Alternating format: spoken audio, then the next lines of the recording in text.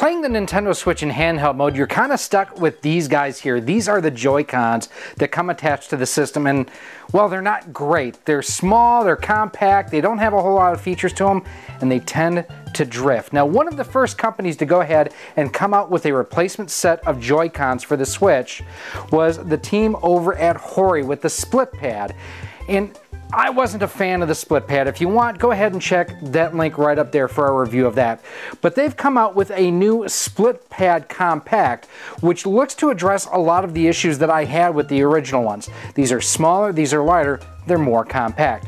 Let's go ahead, let's take these out of the box, let's see how they come out of the box, and see if this really does address some of the issues of the originals. So here we have the split pad compact here and you can see it is much smaller than what the split pad pro was. It looks a lot more similar to what the original pro controller uh, it looks a lot closer to what the Joy-Cons are off of the Switch or really off of the Switch Lite. Ergonomic controller for handheld mode. Product does not include the Switch, OLED model, or Nintendo Switch. I'm glad they clarified that. So on the back has an extra grip for the perfect fit, programmable rear triggers, full-size shoulder buttons, and a precision D-pad. So let's go ahead and open this up and see what we got. Now this is something that if you are interested I will have a link down below in a pinned comment to where I purchased these uh, over on Amazon and they offer these in a couple of different colors. I actually kind of like the cranberry looking ones myself uh, but these were the only ones that were actually available at this time for a reduced cost. Now I will say first things first these things are super light uh, much lighter than the original Joy-Cons which we'll compare them to side by side in a second. Uh, face buttons feel clicky. Home button, assign, turbo, assign, turbo. Those all feel good. The D-pad feels terrible uh, in, in my view. It actually feels worse. They have a Joy-Con that they make, um, which I'll have linked up there for you, where basically it's just a, a left Joy-Con that gives you a D-pad. That D-pad feels much better than this. I am not a fan of this uh, at all, I will tell you that much. Um, digital feel here to the shoulder triggers, I'll say that as well. The analog sticks don't feel bad. The buttons are definitely bigger on the right Joy-Con, but they also feel more close together than what the original Joy-Con is. Now, as I suspected, this does not have any sort of onboard battery, so as such, the LNR are not there. SR, SL, same thing on here. Um, so these have to be used only on the Nintendo Switch that for the price, no. No way, no how, no. That's a huge loss on here. So let's go ahead. We are going to just connect it to our original switch to start with. And this is the one that we had playing in the background at the start. And it is, you know, working exactly as it should there. It, it the home button worked. That's working just fine. We'll go down to controllers. And here you can see in the lower corner that does show on there. Again, because it's on the original Switch, screen kind of, well, not great. Um, we're going to go ahead, we're going to pop that aside. Let's take a look at the manual real quick. So one thing that you do need to make sure is that you do have Pro Controller communication turned on on your Switch. And I've got a video showing how to do that linked right up there for you. Um, to go ahead and assign the buttons, what you do is you press the assign button, press the button that you want to assign a, essentially to the back, and then assign it to the button itself. So what I would do, for example, I would hit assign A, and then now that button should be assigned. Did not work, so do I have to hold it down? While pressing assign Okay, so I have to hold that. Did that slightly wrong, so that was mine. Hold that down. A. And now I go ahead, hit the back trigger, and that should be assigned. Yep, that is. That worked just fine. So that's interesting to note. So again, you'll see my button, my hands are nowhere near any of the other buttons on here. Hit the back, goes into uh, the game. So that that actually works quite well. Turbo mode is you, so I can unassign or no? So to unassign, you press the assign button and then the back, and now the back trigger does nothing. To do turbo, hold down turbo and the button that you want. So pretty interesting there. And it also does rapid fire as well. Now I've cleared it out. Overall, pretty simple to set that up. And then again, this is just walking through the turbo functions. It will have um, turbo, turbo hold on, and turbo off, and then turbo all buttons. You would press the turbo button while pressing the plus and minus button. You can change the turbo speed if you want to as well. So it has some interesting features there, and I think the rest of this is just, yep, everything else is just different languages. So what do we got? about four pages. Yeah, four pages. Now, just to compare the size of these as well, you can see these are my Switch OLED Joy-Cons versus the Hori Split Pads Compact. And, I mean, they are considerably wider, so they do give you more to hold on to. They're also considerably thicker. You can see that this is about twice as thick as these here. Um, and I wanted to compare as well the button sizes. Here you can see, you know, clearly these buttons are definitely larger, but I think they're also tighter together than what these are. So um, good but not great. The analog stick tops are bigger on here obviously than that. And one last thing we are going to do is we are going to hook it up to our Switch OLED and we're going to actually capture some gameplay. Um, now one of the things on here that I want to double check as well, and the manual did not call this out at all, was Amiibo support. Now the original split pad did not support Amiibo. I'm not expecting these two. Okay, so now this is on my Switch OLED, and you'll be able to tell that right away because of how much brighter the screen is. Does not appear. Let's check and see if it'll wake from sleep. So, okay, there's that. We're gonna turn it off. There it is, okay. So it does wake the system from sleep. That is good to, to note on here. I am gonna just double check real quick how the D-pad works later on, but I do wanna check Amiibo support. Amiibo, Connect a controller that can read Amiibo. So there it is right there.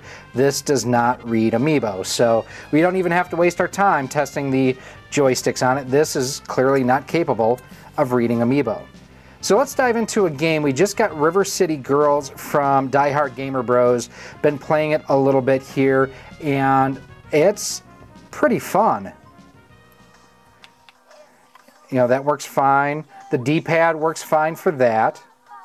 This soundtrack is like totally 80s pop and whatnot. Felt like it missed a button press there a second ago, but we'll see if if that continues or if that was a one-time thing. Yeah, this feels decent. I just don't know that I... I'm not the biggest fan of this overall layout, I will say. I do like how the recruitment process works, how you can basically make other enemies your friends and have them fight with you instead of against you. Um, all right, so that's pretty neat. About some Mario Kart 8 Deluxe. I have been playing a ton of this lately. The new update is phenomenal. I absolutely love it. I will say one of the things I absolutely love about the Switch OLED is for filming like this the fact that you can actually see the display on the camera and I don't have to do a whole lot of trickery uh, with my settings to make it happen, I really appreciate that. Got her. Um, this feels good as far as responsiveness and everything. I, I can't really complain. Yeah, this is feeling pretty good. I mean, the analog sticks are, are, are working well. The buttons are are, are working well too. Let's go, let's try the Super NES Online with the D-pad and everything because, I mean, this is just something that's meant, you know, the D-pad is meant for games like this because, like I say, I, at least initial just testing, not a fan.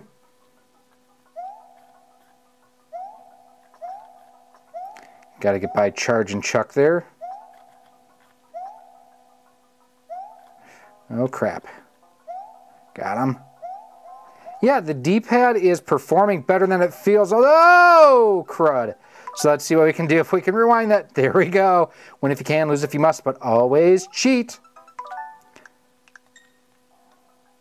Per Jesse the Body.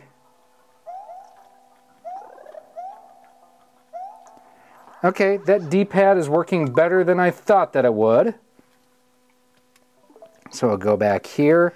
And what is the one that we normally test new controllers with? That's right, we test out new controllers with Street Fighter 2 or Street Fighter 30th Anniversary Edition. So one thing of note on here, and I haven't talked about it to this point, is the fact that there is no built-in rumble on these. For $55, $60 Joy-Con replacements, no. There's also no built-in battery, so you can only utilize these in handheld mode. No, no, no, nay, nay. If NYXI and BinBok and NexiGo can all make replacement Joy-Cons that have battery packs and rumble, Hori should be able to for the same or lower cost. I, no. From a comfort standpoint, I will say these do feel more comfortable to me than the um, uh, than their original split pad. I was not a fan of that at all. This is probably, I would say, closer to either the BinBok or the um, NYXI Slim grips.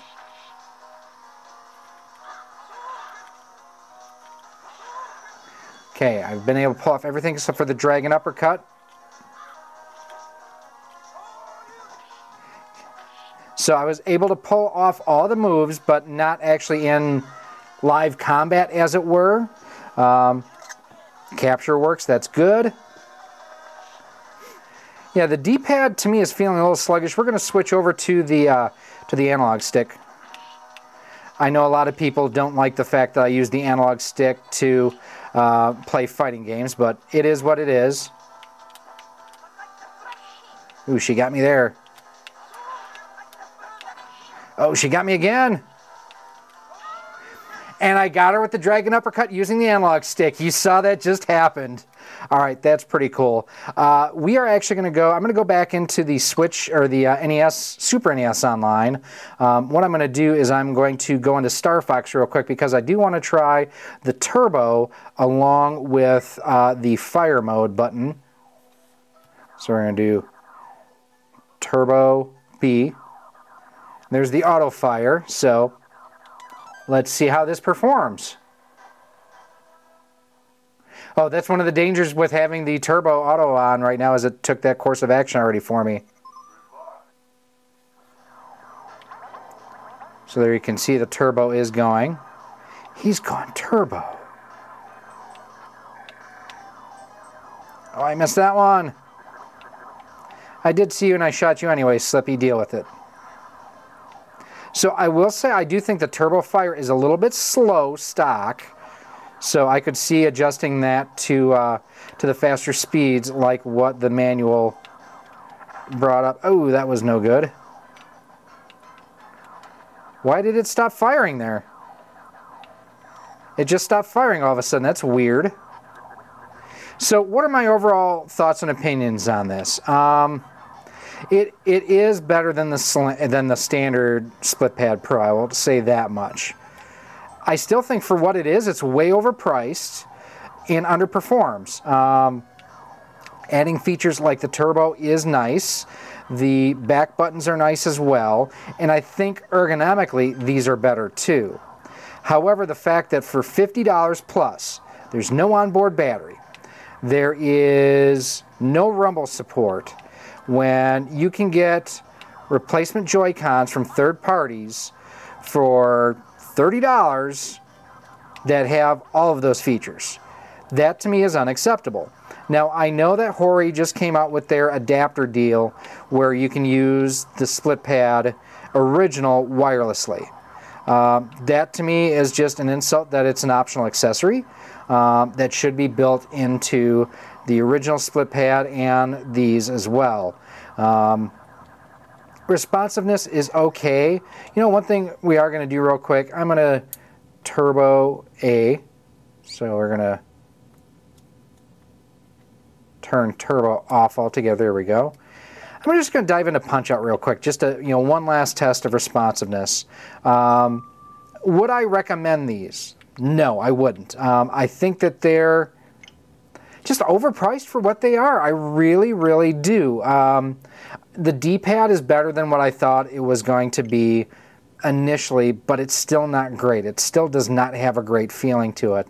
Um, the analog sticks are very smooth. I do like the analog sticks. No amiibo support, no battery, no rumble. It's There's so many compromises that have been made here that I, I just, I'm not a fan. I'm just not a fan. Especially if you look at NYXI and BinBok and what they've done, and NexiGo for that matter, with their replacement Joy-Cons um, that do more, feel better for less money. I mean, that's just this is unacceptable to me as far as what they're charging for these. These are a $25 accessory all day long at most, and the fact that they're charging $50 for them, pretty unacceptable. And the reason why I wanted to dive into Punch Out real quick was to to test out the, the lag and latency as far as button presses to input response um, on the D-pad and on the A and B buttons as well. Um, yeah, I mean, they're plenty responsive, and for a wired controller, I pretty much figured they would be. Um, and this is, you know, pretty much exactly as the Split Pad Pro performed. But this is such a compromised experience. I honestly, unless you just absolutely have to have something physically different, there are better options out there. I dare say the original Joy-Cons are better experience than this. But let's go ahead Sit down, Glass Joe. It's time for some final thoughts. There you have my look at the Hori Split Pad Pro. Does this fix the Joy-Con issue?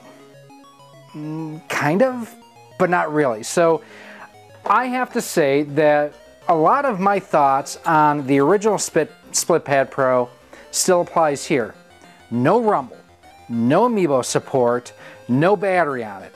You can't use these off of the system unless you spend more money for their adapter. What sense does that make? Seriously. Now, I get people love the Split Pad Pro. I love the design of them. I love the concept of them. I hated using them. And these, to me, kind of more of the same. There are better, cheaper options out there that provide more, more features at a lower price. And that's what I just can't get over with these. I understand that Hori uses good quality products when they build their stuff. I get that. Their components are really, really good. They're not twice the value of what you're providing good. Now, if these were 25 to $30, like I mentioned, maybe. But at 50 bucks and up, no, this is a hard pass for me. Um, I don't even think the ergonomics are that good. I mean, that's the other thing. It's better to me than the split pad. I, I will give you that. And I do like the fact that it doesn't have this huge gap here. That's better. It does make the system already that I think is too wide even wider still. This is nowhere near as good of a handheld gaming experience on the Switch, at least in my opinion, as like the Fixture Gaming S1 and S2. Those are the definitive ways to play the Switch in handheld. Now, you can't always do that. Sometimes, and that does cost more when you figure the cost of a Pro controller plus the Fixture Gaming either S1 or S2. Grant you that. But it's better balanced, you get better performance, better control, better features than what you get here.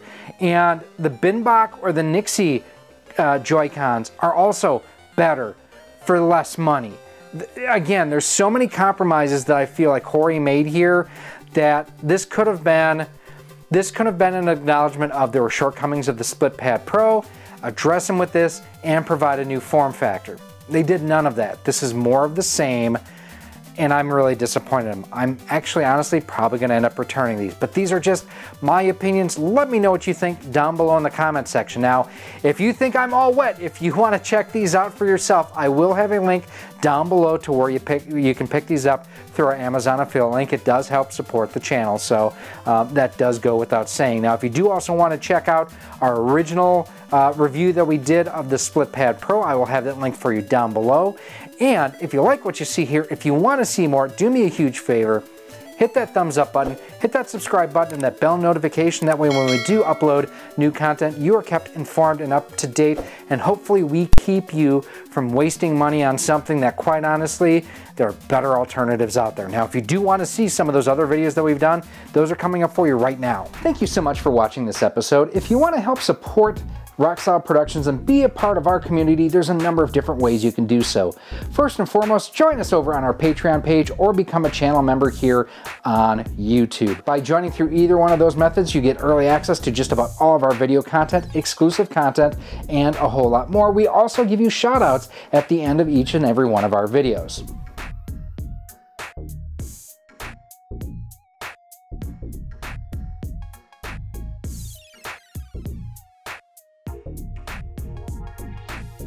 You can also pick up some awesome RoXolid Productions swag. We've got t-shirts, sweatshirts, hoodies, and more available through our Teespring store on screen right now too. You can also pick up some of our awesome 3D printed cartridge stands, amiibo holders, Nintendo DS holders, and more by visiting our 3D printer store on screen right now as well. Links for everything will be down below in a pinned comment. If you want to stay up to date with everything we have going on here at RoXolid Productions, make sure that you're following us on the different social media networks.